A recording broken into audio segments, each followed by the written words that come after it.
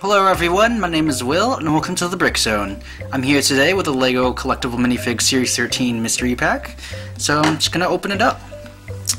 And I really hope this is a good one, because it was the last one that they had at the store, and the last two that I got randomly just weren't that great, so hopefully it's something cool, and not a duplicate, and it's a duplicate. Uh, sucks.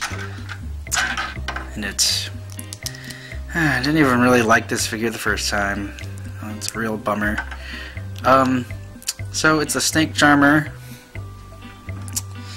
Uh, he has a pretty cool torso, I guess. And, uh, eh, I don't really like this one. There's the snake. Just stand. Plenty of those.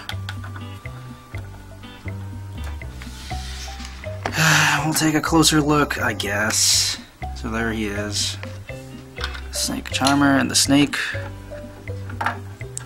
His face is funny. That's cool. And like I said, the torso was nice. And see it goes, there's some printing on his legs that extends there.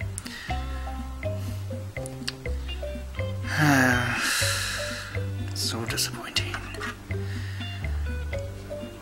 There's headdress or whatever. I don't know. Uh, so that's it.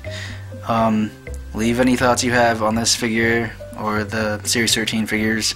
Like or dislike the video and subscribe to the Brick Zone for more video reviews and stop motions.